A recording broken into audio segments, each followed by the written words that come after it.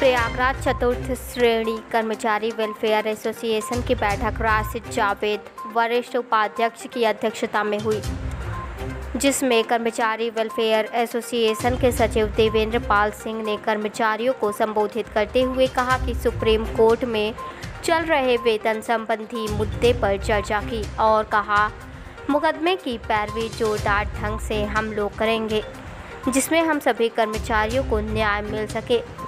देवेंद्र पाल ने कर्मचारियों को अवगत कराया कि कर्मचारियों को कनेक्शन पेट्रोल वेतन दिलाए जाने की पैरवी हो रही है, जिसका परिणाम सार्थक होगा, जिसमें कर्मचारियों में हर्ष का माहौल रहेगा।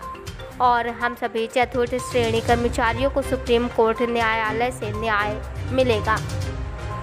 जीत चतुर्थ श्रेणी कर्मचारियों की होगी। इस अवसर पर राशिद जावेद ने कहा, हम सभी चतुर्थ श्रेणी कर्मचारी एक साथ हैं और रहेंगे।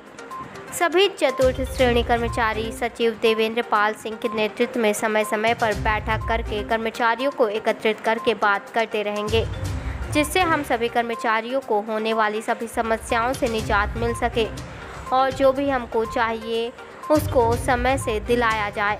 इस अवसर पर मीटिंग हॉल में तृप्ति सोनकर गोल्डी गुप्ता, प्रीति चौधरी, निगम सिंह यादव, राम प्रताप, राम नारायण, सुनील कुमार, मोहम्मद अब्दुल कादिर, अमित कुमार सिंह, सुरेंद्र श्रीवास्तव, लालता प्रसाद, सुरेंद्र कनौजिया, कल्लू मूलचंद, नंदलाल, श्यामलाल यादव, रामकृष्ण यादव, राम नारायण, उदय भान, पाल महेश शाह आदि कर्मचारी गण मौजूद रहे।